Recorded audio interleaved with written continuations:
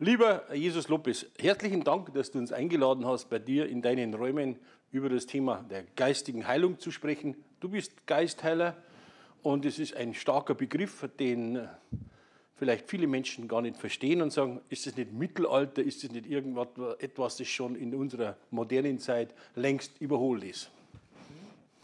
Ja, sehe ich genauso. Also der Begriff, mit dem Begriff kann ich auch nicht viel anfangen. Heiler äh, suggeriert äh, im Gegensatz dazu, dass man dann selbst der Heiler ist, nicht der Kanal. Deshalb würde ich sagen, kann man es so stehen lassen, auch wenn das Wort Geist, in Geisteswissenschaften ist Geist noch mit drin. Aber in vielen Begriffen ist es schon raus oder gar nicht mehr im Bewusstsein der Menschen. Aber es geht ja um äh, das Händeauflegen, die energetische Arbeit und äh, die Verbindung von Körper, Geist und Seele. Wie bist du als ja, Geistheiler zu deinem Beruf gekommen oder deiner Berufung? Mhm. Also ich habe schon als Kind gespürt, dass ich äh, diese heilerischen Fähigkeiten habe, habe erstmal an mir selber geübt, hatte dann mit der Zeit auch Verbindung zur geistigen Welt und ähm, wo ich dann auch ja, zwischendurch die Verbindung gespürt habe, in Träumen gelehrt wurde, immer wieder. Und äh, so hat sich auch die Fähigkeit mit der Zeit gesteigert. Und über die Jahre traf ich dann verschiedene Lehrer, wo ich dann meine Fähigkeiten, Erfahrungen ausweiten durfte.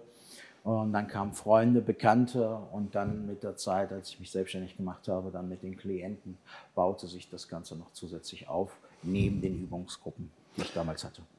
Welche Menschen kommen denn zu dir? Menschen, die im Endstadium einer Krankheit sind oder vielleicht ganz aus anderen Gründen? Mhm. Von mir kommt vom Manager bis äh, auch Ärzte bis Arbeitslose, wirklich von ähm, jeder Berufsgruppe Menschen mit verschiedenen Vorstellungen, äh, mit verschiedenen Prozessen und auch äh, unterschiedlichen Krankheitsbildern. Ähm, aber bei mir ist es nicht so, dass die Krankheit bei den meisten Menschen im Vordergrund steht, ähm, sondern viele haben sich schon mit dem Thema sehr stark beschäftigt. Also okay. heutzutage, in unserer heutigen Zeit kann man nicht mehr davon ausgehen, dass die Menschen keine Ahnung über Geistheilung haben, sondern viele Menschen sind informiert, beschäftigen sich mit Spiritualität, mit spirituellen Themen, mit ihrer eigenen persönlichen Entwicklung. Und das ist über die letzten Jahrzehnte immer mehr und mehr geworden.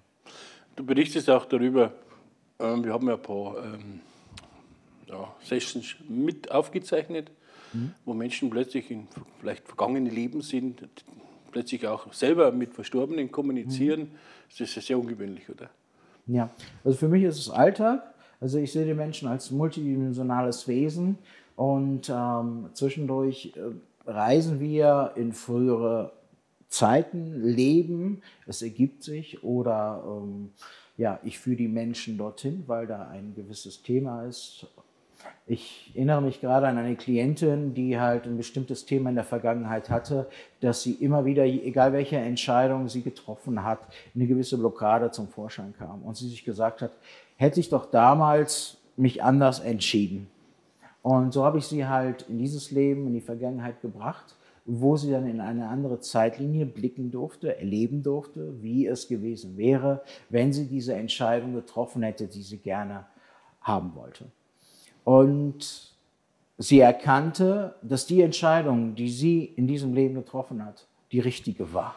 Und das erlebe ich immer wieder, dass genau dieses, was wäre gewesen, wenn, gewisse Schuldgefühle zum Vorschein bringt bei dem einen oder anderen und immer, wenn wir in diese Zeit zurückreisen und Alternativen uns ansehen, wird immer erkannt, es war genau richtig so, wie es geschehen ist. Das ist, glaube ich, eine der wichtigsten Botschaften überhaupt für die Menschen, die jetzt zusehen, mhm. dass du eigentlich die Entscheidung, die du triffst, das ist das, was du sagst, immer die richtige Entscheidung war und im Nachhinein nicht sagen kannst, man hätte doch eine andere Entscheidung getroffen, im Rückblick sehen, nee, das jetzt, wo ich vielleicht meine, das wäre die falsche Entscheidung, man braucht eigentlich gar keine Schuldgefühle haben. Ja, aber äh, halt vom Verstand her oder wenn wir äh, mhm. im Materiellen sind, eben unserem normalen menschlichen Bewusstsein, ja. erkennen wir das nicht. Und egal wie oft uns die Menschen sagen, ja, aber ist doch die richtige Entscheidung gewesen, ähm, es taucht nicht in die Tiefe rein. Und dadurch ist es, dadurch, dass wir in diese Zeit zurückgehen oder in diese Bereiche, können neue Erkenntnisse entstehen, können neue Einsichten gewonnen werden Und das ist ein, eine ganz andere Ebene, wo die Menschen dann selber zu dieser Entscheidung, zu diesem Entschluss gekommen sind. Bei mir ist es auch so, dass es nicht darum geht, Menschen in die Abhängigkeit zu bringen, sondern mehr in ihre Kraft, mhm. in ihr Bewusstsein, ihr spirituelles Bewusstsein, aber auch bewusste Entscheidungen im Leben zu treffen. Weil wir sind Menschen, äh, wir sind geistige Wesen, die als Menschen menschliche Erfahrungen machen und wir haben es mit dem Leben zu tun. Und sehr oft entfliehen Menschen um, und gehen den spirituellen Weg nicht aus einer spirituellen Absicht, sondern aus einem Fluchtgefühl. Okay. Und es geht wieder darum, wenn diese Menschen in dieser Flucht sind, wieder in das Leben reinzubringen. Dann gibt es andere, die spirituell Erfahrung sind, dass sie merken, sie kommen gerade nicht weiter, dann weiterzubringen. Mhm. Und über die Hände, über die Verbindung, über die Kommunikation, die stattfindet, kann ich wahrnehmen, was ist jetzt richtig. Was vielleicht auch interessant ist, äh, ich habe ja verschiedene Berufsgruppen und äh, ich hatte auch mal eine Prostituierte hier, wo ich dann wahrgenommen habe, dass sie halt, sie kam wegen Depressionen auch unter anderem, aber ich, da waren halt Gefühle da, die für normalen Menschen im normalen Alltag äh, eigentlich sehr blockierend wären. Aber dieses Gefühl, vorsichtig zu sein vor allen Menschen, war wichtig für ihren Job. Mhm. Und das sind dann Bereiche, wo ich wahrnehme, okay, da arbeitest du jetzt nicht dran, weil das benötigt wird, weil das jetzt noch nicht dran ist, weil es gerade in ihrer jetzigen Jobsituation auch notwendig ist. Mhm. Und darauf zu achten, das wahrzunehmen, ähm, ja, hat auch mit Fingerspitzengefühl zu tun. Und das ist dann halt nicht so wie in Büchern, ja, wenn du das spürst, dann machst du dies und jenes, sondern man muss auch schauen, wie sieht das Leben der Person aus? Äh, ist diese Blockade gerade wichtig? Ist sie notwendig? Zum Beispiel, wenn jemand mit Hunden trainiert, immer angespannt ist, weil er mit Kampfhunden auch zu tun hat, dann ist diese Vorsicht ganz wichtig. Jemand im äh, Bombenkommando, dass eine gewisse Konzentration da ist, eine gewisse Angespanntheit, die dient zum Überleben. Das heißt, wenn ich als Geisterler an diese Bereiche rangehen würde, mhm. diese versuchen aufzulösen, könnte dann im Leben, was als Blockade für den einen anderen wäre, was sie in diesem Moment nicht ist, halt zu einer Gefahr werden. Es kommen aber auch Menschen, die das Gespräch suchen, vielleicht eben die Spiritualität weiter ja. auszuleben. Und manche Menschen entdecken eben das größere Bild, dass mhm. dieses Leben über mehrere Leben hinausgeht, vielleicht sogar endlos ist. Und wie wichtig sind denn Gespräche? Ich führe immer mit den Klienten Vorgespräche und äh, aus dem Gespräch selber höre ich auch raus, wird das in der Sitzung vorkommen oder nicht. Manchmal reden die Menschen und ich merke, ich kriege jetzt nichts mit. Was die Person redet, sind gewisse Wünsche, wo der Verstand hingeht, ist in die eine Richtung und was die Seele möchte, in eine ganz andere. Mhm. So, und äh, dann werden wir nicht großartig viel reden, sondern wir fangen mit der Sitzung an und dann zeigt sich genau das, worum es eigentlich wirklich geht. Weil manchmal belügen sich die Menschen selber. Mhm. Manchmal wird über das Gespräch auch Dinge erzählt, weil über die Energien, die sich auch hier im Raum aufgebaut haben und auch in der Sitzung wird ein Feld des Vertrauens aufgebaut, mhm. wo die Menschen dann auf einmal anfangen, über Dinge zu erzählen, äh, die sie nicht ihren Ehepartner erzählt haben, äh, nicht der besten Freundin. Ähm, letzte Woche hatte ich eine Sitzung, wo ein Klient auf einmal ein Geheimnis erzählt habe, weil ich das energetisch wahrgenommen habe, dass da ein Geheimnis ist und habe ihn direkt darauf angesprochen. Und dadurch konnte er es erzählen und es war eine Befreiung wie eine Beichte für ihn. Mhm. So, und das zu erleben, das steht nicht in irgendwelchen Büchern. Ja? Und das ist auch der Grund, wieso ich halt im Comic-Bereich auch reingegangen bin, weil ich gesagt habe, solche Bereiche zu erzählen, die Leute vielleicht langsam annähern zu lassen. Äh, und was dafür, für mich sind das Wunder, äh, Gnadenerfahrungen, die geschehen dürfen. Ne? Und dass dann unsere Gesellschaft oder allgemein sehr oft das Thema Geistheilung belächelt wird oder die Menschen keine Ahnung haben, was da jetzt stattfindet, zum Beispiel Geister heilen, was ist das, was gar nicht mit irgendwelchen Geistern zu tun hat. Ähm, und es geht eigentlich darum, um Energien, uns, oder? Es geht um Energien und unsere eigenen Energien, aber auch Energien von außen. Manchmal ist es so, dass es nicht um die eigentlichen Energien geht, sondern um Energien von außen, die einen beeinflussen, wie ein Wirbelsturm. Mhm. Oder in eins der Comics, äh, was ich glaub, auf die Comics werden wir noch eingehen. Genau, da, richtig, ja. in einem halben Jahr äh, rauskommt, ist ein Bild äh, von einer Frau, wo eine Art Schutzschicht ist und man sieht, dass halt die Großmutter für sie betet. Und diese Klientin war bei mir und sie war bei mir, weil sie sagte, mein ganzes Leben ist gerade im Chaos. Mhm. Und in, dann bin ich in diesen Wirbelsturm des Lebens reingegangen, habe gemerkt, dass das noch schlimmer gewesen wäre, wenn die Großmutter nicht immer regelmäßig auch für sie gebetet hätte. Und sie sagt, sie betet für mich? Ja, überprüft das. Dann kam sie wieder und hat es mir bestätigt. Sie hatte nämlich ihre Großmutter gefragt und die Großmutter hatte erzählt, dass sie jeden Abend, bevor sie zu Bett geht, für sie betet. Hat ein Gebet auch eine Kraft? Ja, eindeutig. Ähm, es gab ja dieses große Experiment, mhm. äh, das geschaut wurde, okay, wie ist es, wenn für Herzpatienten gebetet wird? Und zu Anfang äh, war die Euphorie groß, weil die Gebete gewirkt haben. Langfristig haben, hat dieser Test gezeigt, dass es nicht der Fall ist. Wo ich mir aber auch sage, okay, äh, es sind gewisse Informationen nicht rausgekommen, weil wie war die Motivation der Heiler auch mhm. unter anderem? Wie war die Anbindung der Leute? Wie sehr waren sie im Leben? Wie sehr haben sie sich eigentlich auf die Gesundung eingelassen? Weil auch das Thema Energie, Gebet wirkt nur bis zu einem gewissen Grad. Und wir haben auch das Thema Schicksal. Mhm. Ja, das spielt auch eine Rolle, was gerne außer Acht gelassen wird. Ähm, Thema Körper, gesundheitliche Konstitution und andere Aspekte. Aber zu Anfang ist es wie eine Starthilfe im Endeffekt, das Gebet. Aber im Endeffekt geht es auch darum, dass man selber auch sich sagt, ich lasse mich darauf ein. Du machst ja Ausbildungen auch für Heiler, wie, ja. wo jemand dir diese Heilerausbildung machen will, ja. aber du machst auch Heilertage. Genau. Was passiert da bei diesen Heilertagen? Also bei den Geistverhandlungstagen ist es so, dass bis zu 50 Leute kommen. Und der Tag geht von 10 bis 18 Uhr, wo wir auch Pausen eingebaut haben, damit die Prozesse nachwirken können. Und in den Videos, die ich auch zwischendurch veröffentlicht habe, ich habe nur ein paar veröffentlicht, weil ich sage, es geht auch um das Thema Privatsphäre und nicht jeder möchte gezeigt werden. Ähm, aber manchmal kommen Entladungen zum Vorschein. Die Kundalini-Energie steigt an, spirituelle Prozesse, Gnadenerfahrungen. Ganz, ganz viel, was geschehen darf. Und äh, bei jedem Menschen passiert was anderes. Durch diese Gruppenveranstaltung selber ist das noch ein bisschen anders, dass wir nicht auf persönliche Themen eingehen können, je nach äh, der Größe auch äh, des Tages.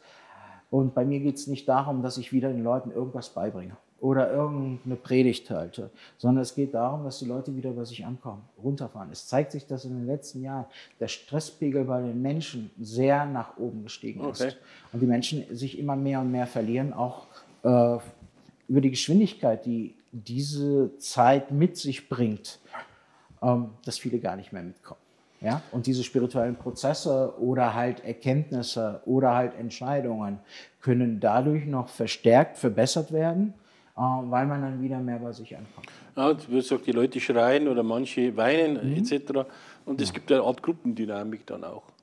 Ja, also äh, es passiert wirklich, dass zwischendurch auch Menschen anfangen zu schreien weil schreckliche Erfahrungen in der Vergangenheit liegen oder auch einfach ein stummer Schrei die ganze Zeit aktiv im System eigentlich stecken geblieben ist und nicht rausgelassen wurde. Mhm. Und äh, über das Energetische kann, kann dieser Schrei rausgehen und es ist nicht nur Befreiung für die Person, die den Schrei loslässt, sondern aktiviert bei dem einen oder anderen A, entweder Angstgefühle oder man fängt selber an, sich zu trauen, zu reden, zu schreien. Ähm, man merkt auf einmal, dass eine Kettenreaktion stattfindet oder dass Menschen vor der Lautstärke der Gruppe zu sich zurückziehen, weil etwas im Ungleichgewicht ist, weil man sich zu sehr auf das Außen konzentriert, anstatt bei sich zu bleiben. Äh, und dadurch sehe ich nochmal zusätzlich, was passiert. Die Entladung, das Zucken unter anderem, was bei den Menschen stattfindet, hat auch mit den Vitalkräften zu tun, mit der Entladung, mit den An äh, Steigerung der Kundalini-Energien und da finden dann auch nochmal zusätzliche spirituelle Prozesse statt.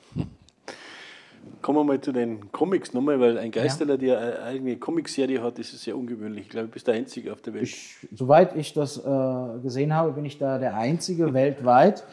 Ich habe da die Postkarten jetzt erstellt, damit jeder, der zu den Geistheilungstagen kommt, was mitnehmen kann. Das ist übrigens auch eine Geschichte. Also wir haben einmal das Comic Cover und zu jedem Comic Cover, was ich monatlich in meinem Blog veröffentliche, habe ich auch eine Geschichte. Das sind Elemente, die der Realität entsprechen, der Fantasie aus dem Bereich der Esoterik, äh, und so bringe ich die Menschen auf andere Art und Weise dem Thema Geistheilung näher und neue Aspekte, die in Büchern nicht drin sind.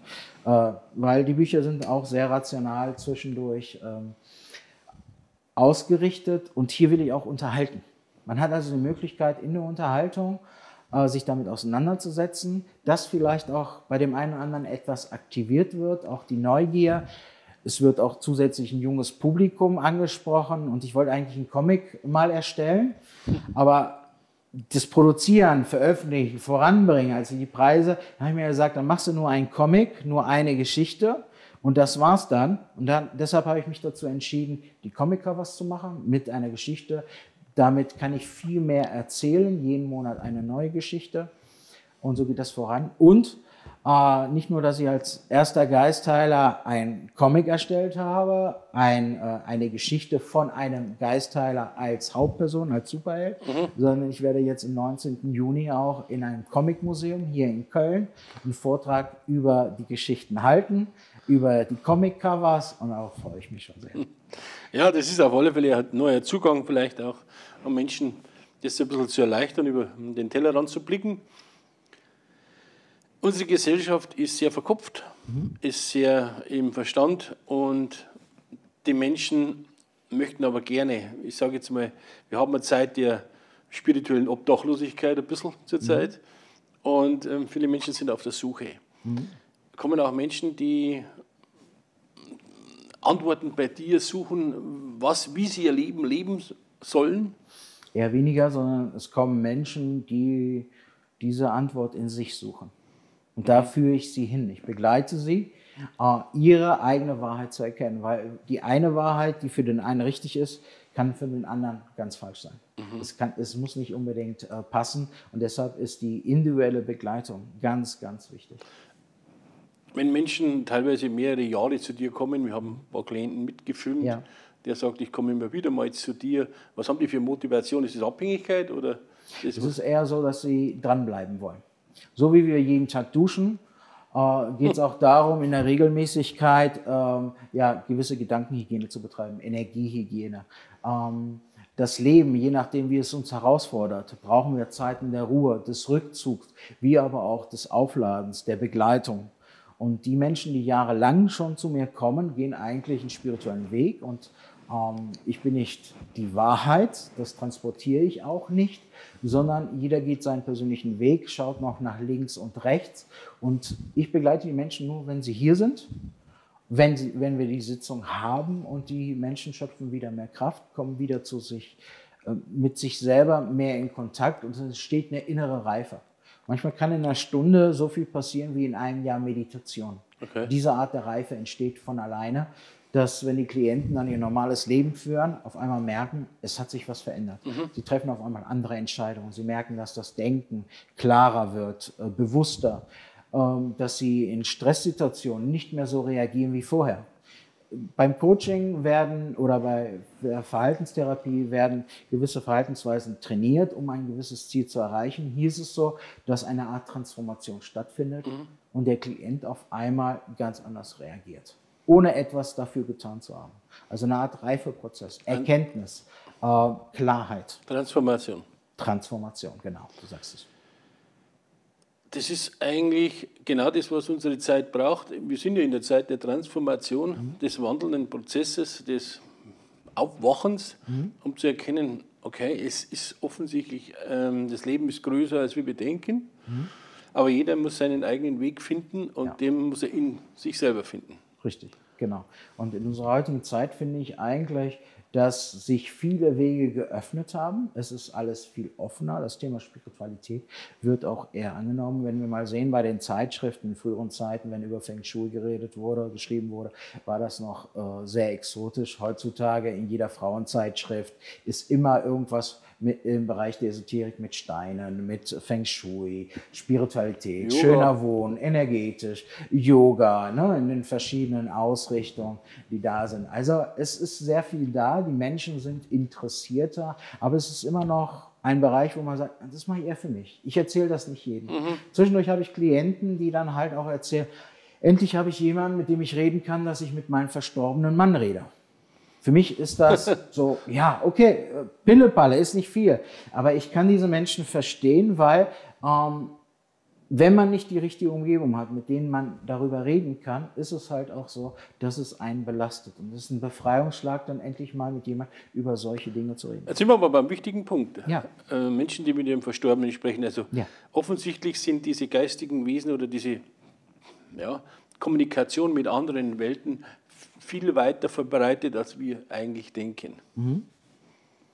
Also ich bin ja sehr mit der Lehre des Spiritismus befreundet und ähm, ich finde immer, man muss auch sehen, äh, in welche Richtung. jeder Mensch hat unterschiedliche Zugänge. Der eine ähm, reist durch andere Welten, durch außerkörperliche Erfahrungen.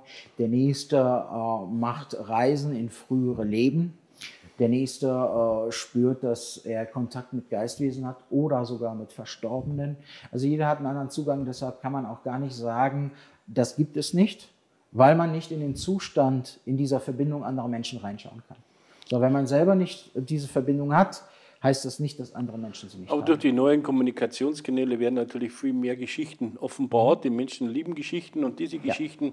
geben ja den Menschen ja Hoffnung, dass es mit dem Tod nicht vorbei ist mhm. und dass wir offensichtlich mächtigere Wesen sind, als wir denken. Ja, und dass es ein Leben nach dem Tod gibt mhm. und äh, dass sie diese Verbindung aufbauen. Und dadurch löst sich auch nochmal etwas. Es löst sich ein Schleier. Es, äh, man spürt durch mehr die Verbindung. Viele Menschen sind dem Thema offener gegenüber. Mhm. Das Thema Tod äh, wird nicht mehr im geheimen Kämmerlein als äh, spooky angesehen, sondern man öffnet sich dem Thema. Oder auch nicht mehr nur den allgemeinen Religionen oder den großen Religionen, genau. sondern man, man, merkt einfach, es hat mit einem selber zu tun. Die großen Religionen, nehmen wir mal Jesus, nehmen wir mal äh, Buddha, da wurden äh, die Lehren im Nachhinein geschrieben und von den Schülern weiter verbreitet. Eigentlich wollten sie ja keine Religion draus machen. Und äh, es ging immer darum, die Wahrheit in sich zu entdecken, das Thema Liebe, die Verbindung zu Gott etc. Aber nicht, dass eine Gemeinschaft entscheidet oder dass wir Texte auswendig lernen, äh, sondern das bringt schon wieder gewisse Strukturen, kann für den einen anderen eine, ein Gefühl von Sicherheit bringen, eine Ausrichtung, aber irgendwann mal geht es auch darum, sich davon zu befreien und sich zu öffnen und eigentlich dahin zu gehen, äh, das, was gelehrt wurde, sich darauf einzulassen. Hat vielleicht auch mit der Geschichte zu, zu tun, in den letzten ja, paar hundert Jahren, da war ja eine Phase dabei, da wurden Menschen, die diese ja, energetische Arbeit oder auch hier, so vielleicht auch Jenseitskontakte etc. Um, oder andere Informationen verbreitet haben, auf dem Scheiterhaufen verbrannt. Das mhm. ist auch irgendwo im kollektiven Gedächtnis noch ja. abgespeichert. Jetzt beginnt man sich wieder zu öffnen, dann kam die Zeit der Aufklärung der Wissenschaft, wo versucht hat, alle diese Phänomene ja, irgendwie rational zu erklären. Das scheint auch, sage ich mal, in großen Teil jetzt gelungen zu sein, aber ein gewisser Teil hm, wurde nicht erklärt und genau das ist dieser Bereich des Nicht-Greifbaren, das jetzt auch wieder zurückfindet in unserem Alltag. Es ist ja auch interessant, dass der Bereich Spiritualität auch mehr in den Bereich der Wissenschaft reingeht ja. und äh, wir immer mehr und mehr Antworten bekommen. Ähm, Du hast ja auch sehr interessante Beiträge auch geteilt in deinen Sendungen, äh, wo es darum ging, dass Wissenschaftler diese Bereiche untersucht haben. Mhm. Und das ist ja auch sehr interessant. Wurdest du schon mal von einem Wissenschaftler mit deiner energetischen Arbeit irgendwie gemessen oder untersucht? Bisher nicht. Also bisher hatte ich äh, Ärzte, die bei mir waren als mhm. Klienten. Mhm. Ärzte kommen zu dir. Ärzte, Ärzte waren auch bei mir. Und da gab sich dann auch äh, sehr interessante Erlebnisse. Zum Beispiel hatte ich eine Ärztin da, wo wir dann äh, Verbindung, über eine Astraloperation von der Lunge, von der rechten zur linken eine Verbindung aufgebaut hat. So, rational würde das kein Arzt machen, aber sie hat das selber sogar in der Sitzung gespürt und wie gewisse Kühle sich dann ausgebreitet hat, eine mhm. Auslastung. Und äh, ja, ähm, die Ärzte öffnen Immer mehr Ärzte öffnen sich dem Thema. Ich hab, wollte ja auch das Thema Forschung verstärkt voranbringen. Zeitlich passt das gerade nicht, das will ich aber weiter fortführen. Und da haben sich auch Ärzte bei mir gemeldet, die gerne äh, mit ihrem Wissen auch unterstützen möchten. Mhm. Also wir haben noch ähm, große Veränderungen vor uns, aber wir sind mittendrin. Äh, danke Jesus für dieses Gespräch. Danke, Nepomuk.